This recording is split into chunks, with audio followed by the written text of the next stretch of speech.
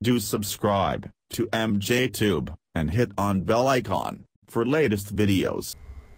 Hey guys, welcome back again. I'm MJ. In this video, I'll show you how to delete multiple apps at the same time. So you need to download and install this simple app. So go to Play Store and the Play Store just search for an app. So download and install this app to your phone. After this, simply open the app like this. Open the app and here you can find your L app but you can't delete or uninstall system app okay?